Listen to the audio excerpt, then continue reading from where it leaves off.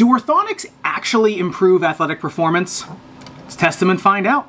Hey, what's up? Zach here. And as a foot doctor, I am constantly seeing athletes just about every day coming into my office who have bought orthotics claiming that they can make you run faster or jump higher. So I put together a series of tests to see if there's any truth whatsoever in these orthotics actually improving your game, whether it be tennis, basketball, whatever you're playing on a court surface, or if you're just training. And for these tests, I chose two different kinds of orthotics, one being one of the most expensive you can find on Amazon. This is the VKTRY Carbon Fiber fiber orthotic runs for about $200 US, carbon fiber based, and one being one of the cheapest you can find on Amazon. This is the PowerStep Pinnacle Max. This is polypropylene or more plastic based. It runs for about 30 to $34 US. And make sure you're sticking around to the end for the final results because there really is some actionable information for any athlete looking to level up their performance. And so for my first of three tests, I actually want to see if these will make you run faster. And since this is a court sneaker review channel, I want to see how fast they make you on an actual court surface. So I'm going to start start off with my standard suicide test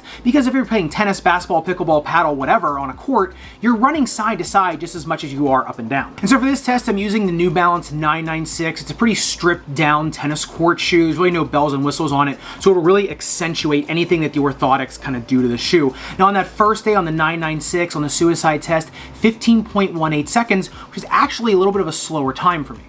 Here's a reason for that. Like I said, the New Balance shoes are pretty stripped down. And on day two with the VKTRY Carbon Fiber Orthotic, 15.06 seconds. However, on day three with the Power Step Pinnacle, I came in at 14.90 seconds, which to me was a significant improvement in my time. Now, the interesting thing about this test was the VKTRY Orthotic actually felt a little more secure than the Power Step because it's such a thinner orthotic because the carbon fiber, so your foot sinks into the shoe a little bit more.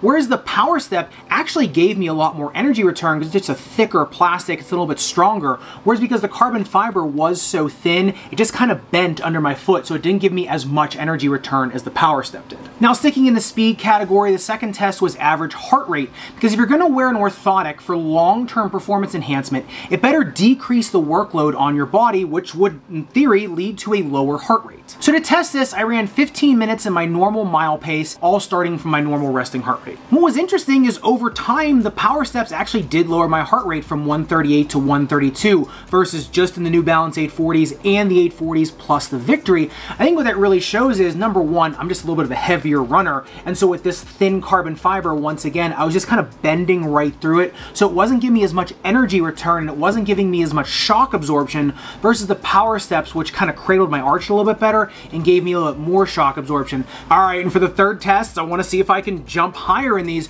So I actually have two tests within this. One is is just a standing raw jump test, see how high I can jump. The other one is my normal serve test, which I take the average of 10 serves and see how high I can jump into my serve. It was interesting just from a standard cold jump test trying to get my max jump height. My max heights were actually pretty similar with the VKTRYs coming in at 32.5 centimeters, the power steps at 34 centimeters, and just my standard shoes, the 996, 31 centimeters. But then again, once I started taking the averages over time, like on my serve test where I take 10 of them and I average them together, the standard New Balance 996, no enhancement, 23.2 centimeters, the VKTRY is at 24.75, and then all of a sudden the power steps again pulling head at 27.75 centimeters. Which brings me to my overall thoughts about orthotics and leveling up your performance. Surprisingly, both orthotics consistently improve my stats. And I found that really interesting why the power step was so much better on the serve test when you took an average of 10 serves versus it was only a little bit better versus just when I tried to get my max jump height.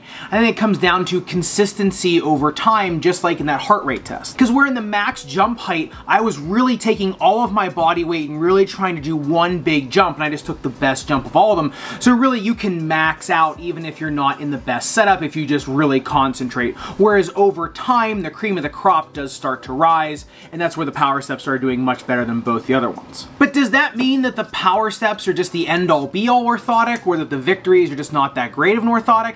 Well, neither really. But it does highlight the fact that not every orthotic is good for every foot, and that not every orthotic is made equal. And in the case of something like the VKTRY orthotic, which is made of carbon fiber, remember for a carbon fiber to be comfortable, it has to be pretty thin, but for it to be thin, it's gonna be pretty bendable. And for somebody a little bit heavier in weight like me, and someone with a really high arch like me, my arch just isn't going to meet up with the arch of the VKTRY orthotic, and therefore I'm just gonna bend right through it. However, if you're somebody with a little bit more of a normal arch, a little bit of a lighter weight player, and you're looking to stiffen up a shoe, then the VKTRY orthotics are gonna be pretty good because it is a nice way to get a carbon fiber plate in your shoe, because even someone like me who's overweight and with a very high arch, it still did improve my stats even by a little bit. But on the flip side, why did the power steps improve my performance so much more? Well, simple biomechanics. They just have a higher arch on them. They met my arch and they brought the ground up to my foot better. Therefore, I was able to use the resource of the orthotic just a little bit better. Also, remember, power steps are pretty stiff. You can't bend them nearly as much as you can bend these ones.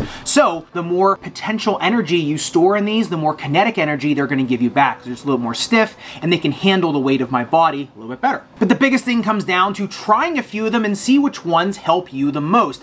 In terms of raw performance, yeah, the stiffer the orthotic and the more it cradles your arch, the more it fits your arch, the better performance it seems like you're going to get. That's why custom orthotics usually do better than over the counter. I usually explain to my athlete patients that a custom orthotic is going to be like a Cadillac, whereas an over-the-counter is going to be like a Chevy. Both of them are going to get you where you need to go. The custom is just going to have a little bit more bells and whistles. And after making this video and seeing all the raw data and numbers, and as well as just how I felt in these orthotics, I'm definitely going to be a lot more aggressive when it comes to prescribing orthotics for people, especially athletes. Because with a lot of the athletes I treat in my office, as well as on this YouTube channel, I'm dealing with a lot of athletes that are trying to extract just as much performance as humanly possible possible. And a lot of times people are just looking for that little bit of an edge, that extra little millimeter that they can get. And a lot of times at the highest level of sport, especially tennis, basketball, whatever you're playing on a court, those little millimeters can count between winning and losing, especially also in my practice where people are trying to look for ways to stay out on the court longer and to prevent those long-term injuries. But remember, not every orthotic is made equal, and even if one does give you a boost in performance, if it's not comfortable for you, it doesn't really matter because if you can't tolerate it,